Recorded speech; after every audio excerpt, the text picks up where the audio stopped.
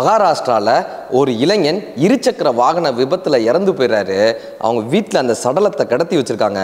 அம்மா இடிஞ்சு போய் ஓன்னு அழுதுகிட்டு இருக்காங்க. சொந்த பந்தங்கள்லாம் அழுதுகிட்டு இருக்காங்க. எல்லாரும் அந்த இளைஞனுக்காக சின்ன வயதில் இப்படி ஒரு விபத்தான ஏக்கத்தோடு எல்லாரும் அந்த உடலை பார்த்து கொண்டு இருக்கும்போது அவங்க அப்பா அங்கே வந்து அந்த துக்க வீட்டிற்கு வந்த அத்தனை பேருக்கும் ஒரு பரிசு கொடுத்து அனுப்பிட்டு இருக்காரு கொடுக்குறாரு. எல்லாருக்கும் வந்தவங்களுக்கெல்லாம் ஒரு கிஃப்ட் கொடுக்குறாரு. இப்போ அவங்க உறவினர்கள் கேட்குறாங்க ஏன் உனக்கு என்ன பைத்தியமா? உனக்கு என்ன மனநிலை எதுவும் பாதிக்கப்பட்டுருச்சா? யாராவது துக்க வீட்டுக்கு வர்றவங்களுக்கு பரிசு கொடுப்பாங்களா? யாராவது துக்க வீட்டுக்கு வர்றவங்களுக்கு கிஃப்ட் கொடுப்பாங்களான்னு கேட்குறாங்க அவர் சொல்கிறாரு அந்த கிஃப்ட்டை பிரித்து பாருப்பான்னு. உள்ளே பிரித்து பார்க்குறாங்க உள்ளே ஒரு ஹெல்மெட் இருக்குங்க. ஹெல்மெட் இருக்குங்க. சுடார் நான் என் பையனை எவ்வளவோ முறை சொன்னேன். ஹெல்மெட் போட்டு போடா ஹெல்மெட் போட்டு போடான்னு எத்தனையோ முறை சொன்னேன். என் பையன் கேட்கவே இல்லை. இன்னைக்கு இந்த நிலையில இருக்கான். எனக்கு வந்த நிலை இன்னொரு தந்தைக்கு வந்துடக்கூடாதுப்பா இந்த ஹெல்மெட்டை பார்க்குறப்பெல்லாம் என்னுடைய பையனுடைய நினைப்பு அவங்களுக்கு வரணும். இந்த மாதிரி நம்ம ஆகிடக்கூடாதுன்றதுக்காகவாது அந்த ஹெல்மெட்டை பயன்படுத்தணுன்றதுக்காக எல்லாருக்கும் இந்த ஹெல்மெட்டை வாங்கி வச்சேன்ப்பான்னு அந்த தந்தை சொன்னாராம். என்னால் உங்களுக்கு ஹெல்மெட் வாங்கி தர முடியாதுங்க.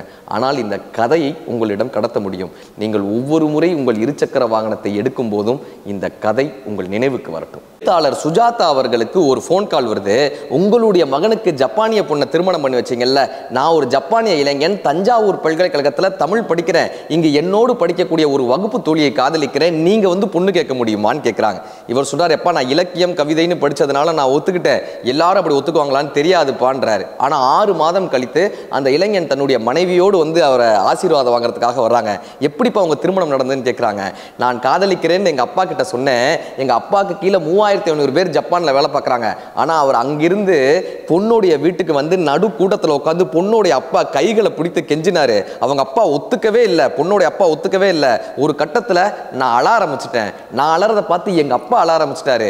மகன் கேட்டதை கொடுக்கலன்னா என் வாழ்க்கையில் பொருளே இல்லைன்னு எங்கள் அப்பா ஜப்பானிய மொழியில் சொல்ல நான் அதை தமிழில் மொழிபெயர்த்து சொல்ல என் அப்பாவினுடைய அழுகையும் எங்களுடைய பாசத்தையும் பார்த்த பிறகு அந்த பெண்ணுடைய அப்பா மனம் இறங்கி எங்களுடைய திருமணத்திற்கு ஒத்துக்கொண்டார்னு சொன்னாங்க. சுஜாதா அவர்கள் இந்த கட்டுரையை முடிக்கிறாரு. தன் மகன் கேட்டதை கொடுக்க முடியாத தருணங்களில் தான் ஒரு தந்தை தன்னை தோல்வியாளனாக உணர்கிறான். தெய்வங்கள் எல்லாம் தோற்றே போகும் தந்தையின் அன்பின் முன்னே தாலாட்டு பாடும் தாயின் அன்பும் தந்தையின் அன்பின் பின்னே. லியாண்ட்ரோ டாவின்சி அவர்கள் த லாஸ்ட் சப்பர் என்ற ஓவியத்தை வரைவதற்காக இயேசுநாதரின் கருணை கூர்ந்த ஒரு முகத்தை ஒத்த ஒரு நபரை தேடிக்கொண்டே இருக்கார். மாடலாக உட்கார வைக்க. ஒரு பள்ளி வளாகத்தில் ஒரு கருணை கூர்ந்த ஒரு முகத்தை உடைய ஒரு மாணவனை அந்த மாடலாக உட்கார வைத்து இயேசுநாதரினுடைய முகத்தை வரைகிறார். இப்போ யூதாசினுடைய முகத்தை வரைவதற்காக மிக கொடூரமான ஒரு முகத்தை ஒத்த மனிதனை தேடிக்கொண்டே இருக்காரு. நான்கு வருடமாக தேடியும் அவருக்கு அந்த யூதாசினுடைய முகத்தை வரையக்கூடிய மனிதர் கிடைக்கவே இல்லை. சிறைச்சாலையில் மிக கொடூரமான ஒரு செயல் செய்த ஒரு தண்டனை கைதியினுடைய முகத்தை பார்க்கிறார். இவன் தான் யூதாசினுடைய முகத்திற்கு சரியானவன் என்று சொல்லி அந்த தண்டனை கைதியை மாடலாக உட்கார வைத்து வரைய தொடங்குகிறார். ஆனால் அந்த கைதி சிரித்து கொண்டே இருக்கான். ஏன்பா சிரிக்கிறேன்னு கேட்கிறாரு. என்னை உங்களுக்கு ஞாபகம் இல்லையா? நான்கு வருடங்களுக்கு முன்னால் இயேசுநாதனினுடைய முகத்தை வரைவதற்கு என்னைத்தான் நீங்கள் அமர வைத்தீர்கள். இப்போது யூதாசினுடைய முகத்தை வரைவதற்கும் என்னைத்தான் அமர வைத்திருக்கிறீர்கள். ஒவ்வொருவருக்குள்ளும் இயேசுநாதரும் இருக்கிறார் யூதாசும் இருக்கிறார். காலமும் சூழ்நிலையும் அவனுடைய வாழ்க்கை முறையும் தான் அவனை இயேசுநாதராகவோ யூதாஸாகவோ மாற்றுகிறதுன்னு சொல்லிட்டு போனான். அதனால தான் வைரமுத்து ஐயா சொன்னார் கடவுள் பாதி மிருகம் பாதி கலந்து செய்த கலவை நான். வெளியே கடவுள் உள்ளே மிருகம் விளங்க முடியா கவிதை நான். மிருகம் கொன்று மிருகம் கொன்று கடவுள் வளர்க்க பார்க்கின்றேன். கடவுள் கொன்று உணவாய் தின்று மிருகம் மட்டும் வளர்கிறதேன்னு எழுதியிருப்பார். ஒவ்வொரு மனிதனுக்குள்ளேயும் இயேசுநாதரும் இருக்கிறார் யூதாசும் இருக்கிறார். ஒரு நல்ல மக்களாலே ஒரு நல்ல தலைவனை உருவாக்க முடியும்னு சொல்லுவாங்க. காமராஜர் ஐயாவினுடைய ஆட்சி காலம் பொற்காலம் என்று கொண்டாடும் போது அவருடைய ஆட்சி காலத்தில் இருந்த மக்கள் எப்படி இருந்தாங்க தெரியுமா? ஒரு ரிக்ஷாக்காரர் வராரு காமராஜர் ஐயாவினுடைய வீட்டு வாசல்ல வந்து பரிதாபமா நிற்கிறாரு இப்போ அவர் கேட்குறாரு என்னப்பா வேணும் உனக்கு? ஏன்பா வீட்டு வாசல்ல வந்து இப்படி நின்றுட்டு இருக்கேன்னு ஐயா என்னுடைய பொண்ணு காலேஜ் படிக்கிறாங்க. அவளுக்கு ஒரு பதினாறு ரூபா ஃபீஸ் கட்டணும். மூணு நாளில் நான் அந்த ஃபீஸை கட்டலைன்னா என் பொண்ணை படிக்க விட மாட்டாங்க. யான்னு பாவமாக நிற்கிறாரு இப்போ காமராஜர் ஐயாவினுடைய உதவியாளர் சொல்கிறாங்க ஐயா அவனை பார்த்தா ஏமாத்துற மாதிரி இருக்கான். சும்மா உங்ககிட்ட காசு வாங்கிட்டு போகணுன்றதுக்காக ஏதோ பொய் சொல்கிறான் கொடுக்காதீங்கன்றாரு. இப்போ காமராஜர் ஐயா சொல்கிறார் மோத்த பாரியா அவனை பார்த்தா ஏமாத்துற மாதிரியா தெரியுது. யார் ஏமாத்துவாங்க யார் ஏமாற்ற மாட்டாங்கன்றத முகத்தை பார்த்தா தெரியாதா? கொடுத்து விடுப்பான்றாரு. கொடுத்து விடுப்பான்னு. சார் இப்போ அவர் காசு வாங்கிட்டு போயிடுறாங்க. ஒரு வாரம் கழிச்சு பத்து நாள் கழிச்சு அதே மனிதர் அவர் வீட்டு வாசல்ல அப்படியே நின்றுக்கிட்டே இருக்காரு. திரும்ப பரிதாபமா நிற்கிறார் இப்போ உங்க உதவியாளர் சொல்றாங்க நான் போன தடவையே சொன்னேன் கேட்டிங்களா? இப்போ அவன் வேற ஏதோ ஒரு காரணம் சொல்லி உங்ககிட்ட காசு வாங்குறதுக்காக வந்திருக்கான். திரும்பவும் உங்களை ஏமாத்த வந்திருக்கான் நான் அதுக்கு தான் முன்னாடியே சொன்னேன். இப்போ காமராஜரை அவரை கூப்பிட்றாரு. ஏன்பா திரும்ப வந்தேன்னு? இப்போ அவர் சொன்னாராம் ஐயா நீங்கள் பதினாறு ரூபா ஃபீஸ் கட்ட கொடுத்தீங்க. நான் காலேஜில் போய் கேட்டேன் அவங்க வந்து பதினாலு ரூபா தான் ஃபீஸுன்னு சொன்னாங்க.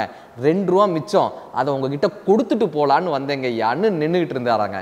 இப்படியான மக்கள் நம்ப தகுந்த மக்கள் நம்பிக்கையான தலைவர்களை தேர்ந்தெடுக்கிறார்கள் நம்பிக்கையான தலைவர்கள் நம்பிக்கையான மக்களை உருவாக்குகிறார்கள்.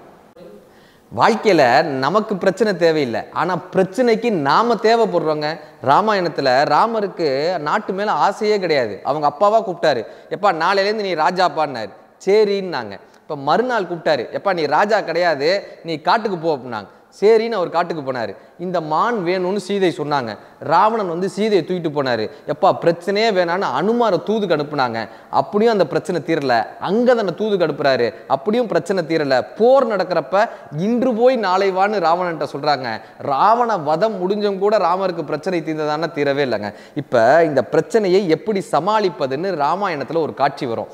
அனுமர் சஞ்சீவி மூலிகையை பறக்கிறதுக்காக போகிறாருங்க இந்த சஞ்சீவி மலை பெருசாக இருக்குது அனுமர் சின்னதாக இருக்கார். எது சஞ்சீவி மூலிகைன்னு தெரில ஏன்னா மலை பெருசாக இருக்குது பிரச்சனை பெருசாக இருக்குது எதுன்னு தெரியல குழப்பம் அடைகிறாரு. இப்போ அனுமன் என்ன தெரியுமா பண்ணாராம் விஸ்வரூபம் எடுத்தாராங்க. இவர் விஸ்வரூபம் எடுத்த உடனே சஞ்சீவி மலை சின்னதாயிடுச்சு அனுமன் பெருசாயிட்டாரு அப்படியே அந்த மலையை தூக்கிட்டு வந்தாராம்.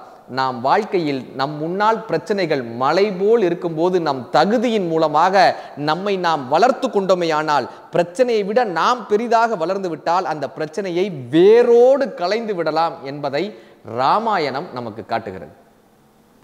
சில விஷயம் சார் எதுக்காக பண்ணுறோன்னே தெரியாமல் நம்ம பண்ணிகிட்டே இருப்போம். ஏன் ஹோமம் வளர்க்குறாங்க? ஹோமத்துல ஏன் நெய் ஊற்றுறாங்க ஏன் இந்த விஷயங்கள்லாம் பண்ணுறாங்க ஏன் இந்த மந்திரங்கள்லாம் சொல்கிறாங்கன்னு கேட்டால் சாஸ்திரம் இதை சொல்லுது அதை நம்ம பின்பற்றணும்பான்வாங்க சார் ஒரு பெரிய குரு அந்த மடாலயத்தில் பெரிய ஹோமம் வளர்க்குறாரு. அந்த ஹோமம் நடத்திட்டு இருக்கும்போது ஒரு பூனை இங்கேயும் அங்கேயுமா வந்து தொந்தரவு பண்ணிக்கிட்டே இருக்கு. இந்த குரு பார்க்குறாரு எப்பா அந்த பூனை இருந்துச்சுன்னா ஹோமத்தை சரியாக நடத்த முடியாதுப்பா. இந்த பூனையை கட்டி போடுங்கப்பான்னு அந்த பூனையை கட்டி போடுறாங்க. ஹோமம் நல்லபடியாக முடியுது. இப்போ அவர் சொல்கிறாரு எப்பா அந்த பூனைக்கு இந்த யாகத்தில் வச்சிருந்த பால் இருந்ததில்ல அந்த பாலை ஊற்றுங்கப்பா பாவம் வாயில்லா பிராணின்னு அந்த பாலை ஊத்துறாங்க அந்த பூனை குடிச்சிட்டு போயிடுது. இப்போ இந்த குரு இறந்து போகிறாரு அடுத்த வருஷம் தலைமை சிஷியன் அந்த குரு பதவிக்கு வர்றாங்க. அதே ஹோமத்தை அதே யாகத்தை அவர் நடத்தணும். அவர் வந்து உட்காந்துட்டாரு யாகத்துக்கான எல்லா சாமானும் வச்சுட்டாங்க ஆனால் அவர் யாகத்தை தொடங்கவே இல்லை. ஏன்னு கேட்குறாங்க அவர் சொன்னார் எப்பா நம்ம குரு என்ன கற்றுக் கொடுத்தாரு? யாகம் ஆரம்பிக்கிறதுக்கு முன்னாடி ஒரு பூனையை பிடிச்சி கட்டணுமே. அப்புறம் நம்ம யாகத்துக்கு பயன்படுத்தின பாலை அந்த பூனைக்கு பிரசாதமாக கொடுக்கணுமே. அதுதானே சாஸ்திரம். அதுதானே குரு கற்றுக் கொடுத்தாருன்னாராம். இப்படித்தான் நாம் பல விஷயங்களை ஏன் என்று புரியாமல் சாஸ்திரம் என்ற பெயரில் பின்பற்றி கொண்டிருக்கிறோம். சாத்திரங்கள் ஓதுகின்ற சட்டநாத பட்டரே வேப்பிரைப்பு வந்தபோது வேதம் வந்து உதவுமோ? மாத்திரைப்பு போகும் முன்னே மறிந்து தொக்க வள்ளிரில் சாத்திரைப்பு நோய்கள் இல்லை சக்தி முக்தி சித்தி என்றார் சிவவாக்கியர்.